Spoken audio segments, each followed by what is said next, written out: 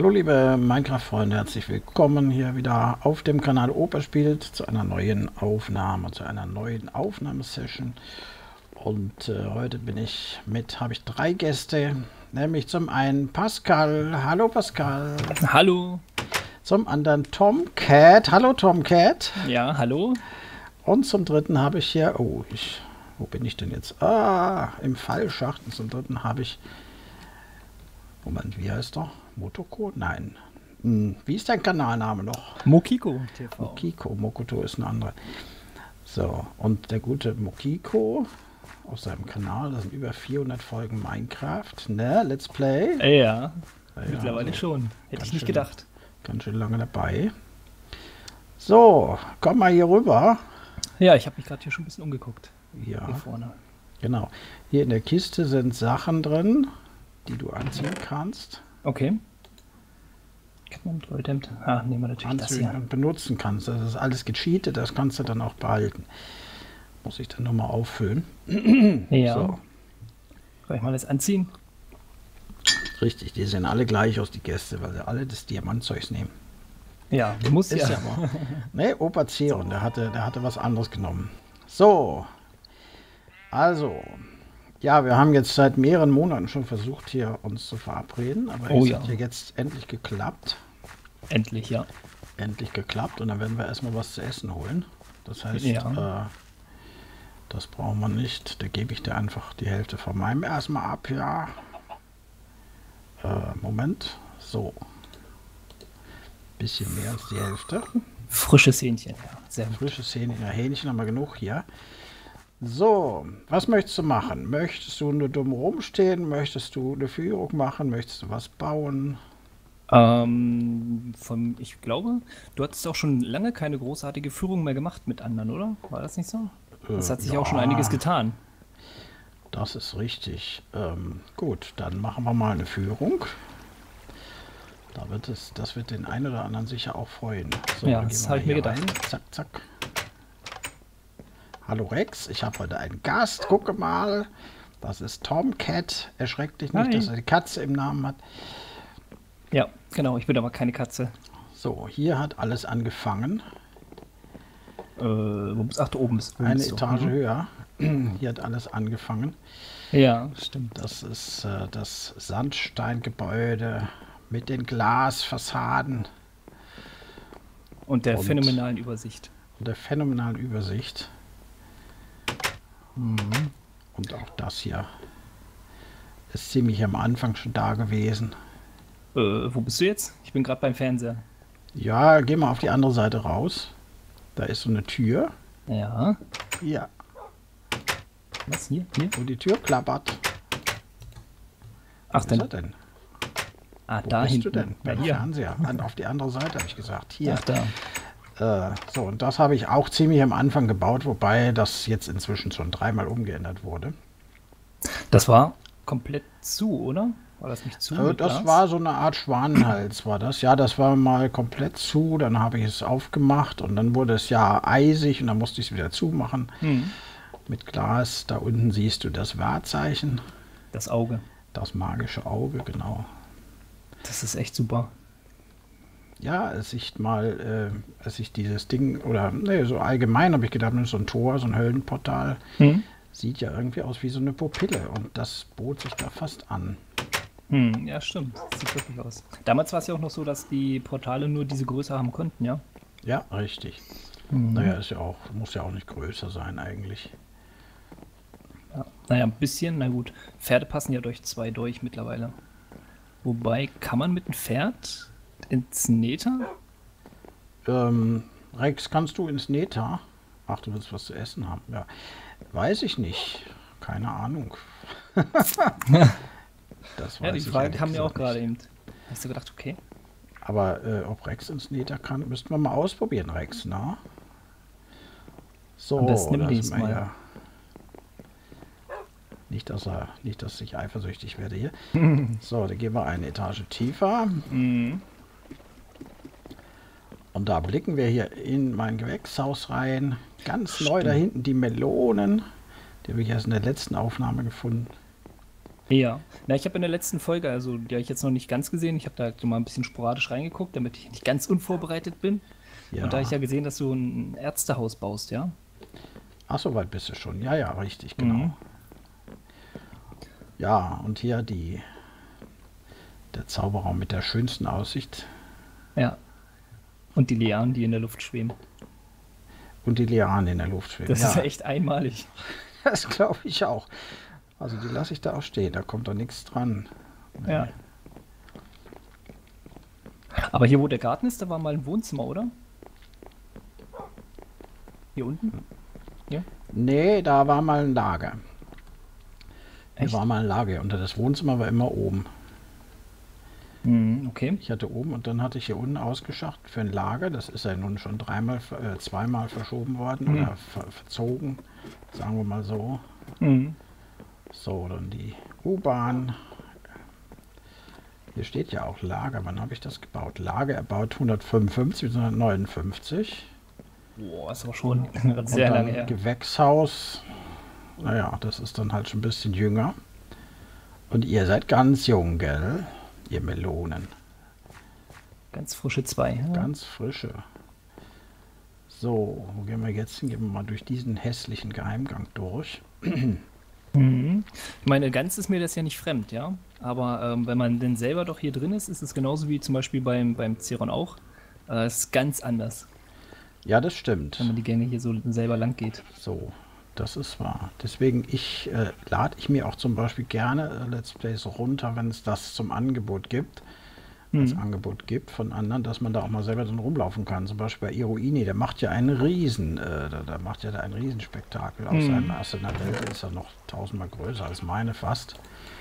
Und ähm, zumindest von den Folgen her. Ja.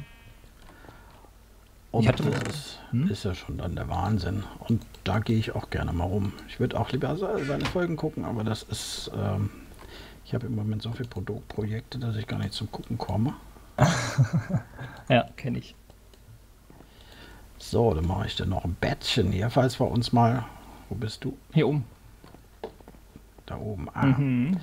so, falls, Es Nacht wird. falls es mal Nacht wird und wir auf freiem Feld überrascht werden. So, hier siehst du Cerons Flimmerkiste. Da war Opa Ceron dabei, als ich die so getauft habe. Stimmt, das Kino, ja. Das habe ich auch gesehen, den Bau, wo du dran gearbeitet hast. Das Kino. Ihr seht, liebe Zuschauer, das ist ein sehr treuer Zuschauer. Ja. Zwar nicht jede Folge, da muss ich mir gestehen, aber Ja, gut, das geht ja auch kaum. richtig. So. Hm, wo gehen wir rum? Hier rum. Zum Biergarten. So. Beim Kino ist doch auch in der Nähe das Krankenhaus, oder? War das nicht so? Ähm, das kommt drauf an, wie, wie man Nähe definiert. Also es ist eine ganze Ecke weg. Hier ist erstmal der Biergarten. Mit der schönen Aussicht. Ähm, was ich letztens schon mal gesehen habe, der ähm, QR-Code da unten. Der QR-Code geht entweder auf meinen Kanal oder auf Twitter, das weiß ich jetzt nicht. Aber ab und zu testen das mal Leute, die kommen dann auch irgendwo hin. Also das funktioniert. Echt? Ich glaube, wer ähm, hat das ähm, von den Porkis? Der Kilian hat das mal getestet und einer meiner letzten Gäste auch. Mhm.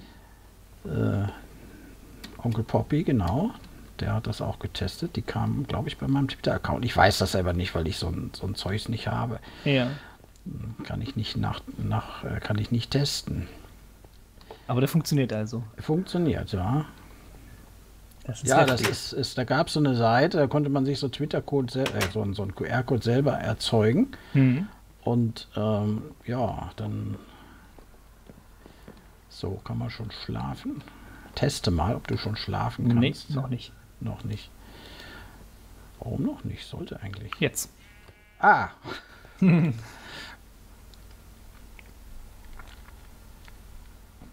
So ein QR-Code ist natürlich. Ja, es gibt da so eine. Seite, wo man einen QR-Code erzeugen kann. Da habe ich gedacht, ach, da ist so eine blöde leere Fläche da in dem äh, in der Sandmine. Mhm. Kann man das ja machen. So, dann gehen wir hier mal rum. Da kommen wir dann. Wo kommen wir hin? äh, ins Gefängnis. Ah, Ne, ich weiß es ja. Ich frage dich nur ab und zu, damit ich sehe, ob du es auch weißt. Das Ach muss, so. noch, muss noch eingerichtet werden hier. Da müssen noch so ein paar Wach, äh, mal so ein paar Tische oder was hin für die Wachleute. mhm. Aber immerhin sind die Zellen schon fertig eingerichtet. Mhm. Kommst sogar nicht wieder raus, wenn du reingehst. Na, dann bleibe ich davor. Na, bei mir die Zellen, die ich äh, auch vor gar nicht so langer Zeit gebaut habe, habe ich außen Hebel dran gemacht. Ja, das, dass man quasi als Wärter dann reingehen kann und Hm, die Handschellen abmachen könnte und dann. Das ist wieder rauskommt. gar keine so schlechte Idee. Das merke ich mir mal. Mit dem Hebel. So, was machen wir jetzt? Jetzt gehen wir mal, gehen wir mal, gehen wir mal hier runter. Ja, genau, eine Etage tiefer. Nichts. Noch eine. Ah. Ah, ja. Da sind wir hier an dem großen Eingang da unten. Ja. Den zum Beispiel kenne ich gar nicht, glaube Den ich. kennst du gar nicht. Na, da gehen wir mal runter. Ich glaube, den kannte ich nicht. Hier musst du aussteigen. Der ist auch schon etwas länger. Ach, das sind Steinstufen. Ich habe gerade habe ich gedacht. den gebaut? Na, in der Folge 1313. Na gut, das sind ja auch schon 200 Folgen plus. Richtig. Ja, hier war mal gar nichts, gar kein Eingang, aber ich hatte hier dann mein erstes Lager hier auf der rechten Seite. Hm. Sieht man hier noch ganz am Anfang in der Folge 28 gebaut. Sieht alles ein bisschen, naja. Hier werde ich auch noch was bauen. Mhm. Ja, und hier ist dann auch so eine Wachstube. Muss auch noch mal was eingerichtet werden. Das hier war doch auch ziemlich weit am Anfang, oder? Das war ganz am Anfang. Das Ja. war überhaupt der erste Raum, den ich überhaupt gebaut hatte. Als zweites kam dann diese Geheimtreppe, die jetzt nicht mehr so geheim ist. Wo man dann, äh, wo geht's denn jetzt lang? Hier. Sie verlief mal anders, sie verläuft immer wieder anders. Aber jetzt läuft sie eigentlich gar nicht so geheim. Hier hoch. Man hört richtig die Töne, wenn man hier hochläuft. Hm. So, bist du noch hinter mir? Ja. Na klar. So. Und dann kommen wir hier wieder raus. Gehen wir mal zum Krankenhaus, wo du das gerade so erwähnt hast. Da hinten siehst du das. Mhm. Stimmt, das Kreuz, ja. Ja, genau. Und hier ist auch das Ärztehaus jetzt in Bau. Das sieht alles jetzt schon ein bisschen enger Ja. aus hier. Naheliegend, ja. Ja, Das Krankenhaus. das Krankenhaus. Okay, und die hier vorne, warum ist hier jetzt zu zum Beispiel? Also hier, warum ist hier jetzt eine Metalltür? Weil da hinten radioaktive Strahlung ist. Das ist nämlich ein äh, MRT. Ich erkenne es jetzt, ja. Ich habe gerade überlegt. Ne? Mit Röntgen, nicht radioaktiv. Röntgenstrahlung wollte ich sagen. Radioaktiv wäre schlecht. Huh. Hm. Stimmt, ein MRT. Aber das MRT ist ja hier noch äh, Platz, also hat noch deutlich viel Platz im Gegensatz zu den anderen, also Originalen. Da liegt man Ja, ja wirklich in so einem kleinen Rohr. Hier ist der OP-Saal. Oh, der ist schön, der ist schön geworden. Mhm. Mit den Schränken dann ja für die Instrumente. Mhm. Ganze Instrumente da. Dann hier so ein paar. So, dann geht es hier wieder hoch. Dann sind wir bei den Krankenschwestern oder wem auch immer. Oder Krankenbrüdern. Und hier sind die Krankenzimmer. Erster, zweiter und dritter Klasse. Stimmt, hier mit Dusche. Ah, schön. Bei so einem warmen Wetter muss man duschen. Ja, das ist Irrsinn. Also ich, hab, ich schwitze hier wie so ein Affe in dem Raum. Ja. Obwohl es gar nicht so kalt ist eigentlich draußen jetzt, äh, gar nicht so warm ist. Mhm. Stimmt, draußen Aber ist das wirklich ist A, der wärmste Raum hier und zweitens steht dann auch noch der Computer da drin. Mhm. Ja, es produziert natürlich schön Hitze. So, hier drei Bettzimmer. Oh ja, am Fenster. Aber man kann noch nicht schlafen, ist noch hell. Nee, da sind wir noch. Ist schon wieder dunkel? Nee. Nee. So. Hier ist so eine Art Lift. Aha. Und das sind dann, So. Was? ja, das habe ich gerade auch gehört, die Spinne oder was das ist, die gerade hier war. Ah, ja, ich höre sie jetzt auch. Irgendwo ist eine. Ist aber kein Problem. So, hier bin So. ich. Was Mhm. ist hier geplant? Hier soll eine Bücherei hin oder Bibliothek, die also steil am Hang gebaut werden soll. Okay. Unter das Ersthaus drunter und dann hier raus. Und da hinten soll also ein neuer Stadtteil. Da habe ich schon mal wieder so ein Häuschen bekommen im Rahmen der Mietbauaktion. Kommen ja immer mal wieder welche. Hm.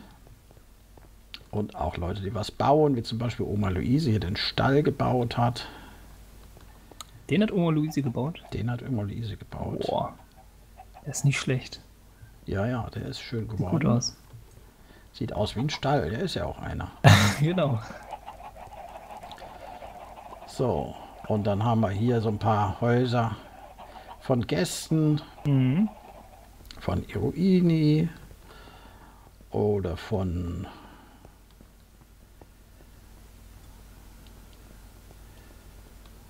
hier von von von Kane Games, Mhm. hier von Cedric Elsius rechts von mir.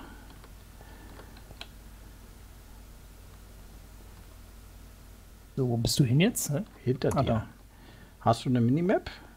Nee, ich habe Ah, leider. dann muss ich, dann muss ich dir immer. Bescheid sagen, ja. Okay. Dann muss ich dir immer Bescheid sagen.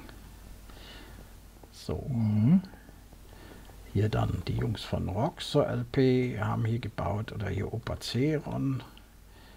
Der hat sich in der ersten Mal, als er hier zu Gast war, sich auch nur rumführen lassen. Und Mhm. dann hat er irgendwann gesagt, ah, jetzt muss ich aber doch bauen. Naja, naja man, man sieht ja auch, wenn man nicht alles gleich halt sieht, also in den Folgen, dann ist es Ja. halt schon interessant, wenn man mal so. So, das und hier sind jetzt kann. die letzten Häuser von zwei Gästen, die hier waren. Einmal hier oben Christina LP und Mhm. eine Etage darunter das halbe Haus von Onkel Poppy.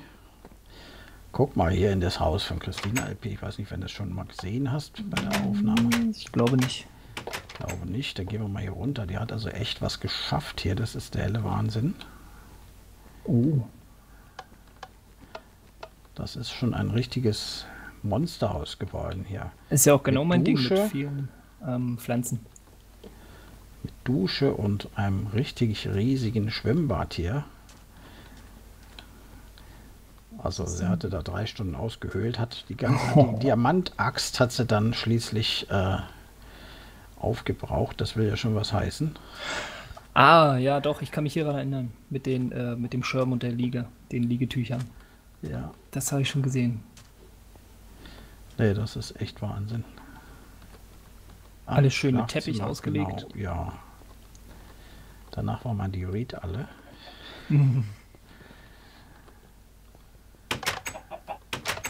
So, mit Gärtchen. Na, Huhn. Ach, hier kommen wir nicht mehr raus. Hier mache ich mal eine Tür rein, glaube ich. Ähm, dann müssen wir da drüben raus. Das hier ist ja interessant. Was? Mit dem, mit dem Eis. Ja, es ist ja hier, ähm, hier gefriert ja alles, ne? Ja. Wir sind ja hier auf einer Höhe von, was habe ich hier, äh, 102, da ist schon eisig. Mhm. Aber dass dann trotzdem noch das Getreide wächst, meine ich. Ja, das ist vielleicht noch gewachsen. Ja, doch, doch, stimmt, hast recht, ja. Muss man sich Weil, mal merken. Ich da, dachte Ja. mal, das geht dann nicht. weil ich hatte zum Beispiel manchmal das Problem, dass das halt ins Wasser gefallen ist und ich dann halt ins Wasser gehen musste und erstmal langsamer und so So, mit dem Eis. genau, hier unten.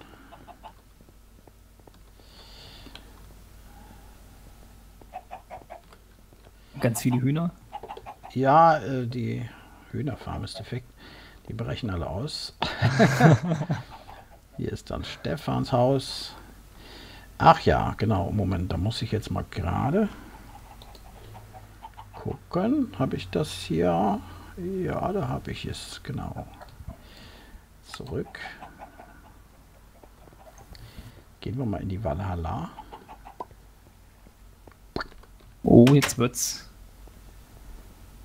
Ach, interessant. Ich kann im Moment gar keinen. Ah, ich muss noch so ein Ding hier machen. Na gut, alles voll, aber das ist mir erstmal egal. Ich äh, muss jetzt mal hier kurz. Guck dir mal die ganzen Schrumpfköpfe an. T. So. Mr. Outback. Hm. Ich wusste gar nicht, dass man so die Köpfe von anderen halt äh, importieren kann hier. Ja, da habe ich mal irgendwo sowas gelesen von so einem Befehl.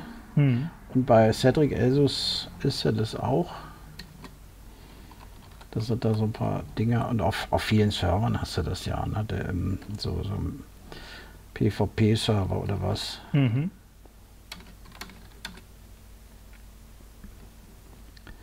Hat es So. schon ganz schön viel Besuch, wie ich sehe. Skull.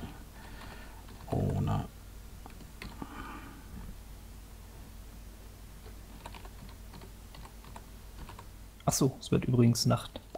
Ja, das macht nichts. Da legen wir uns halt mal hin.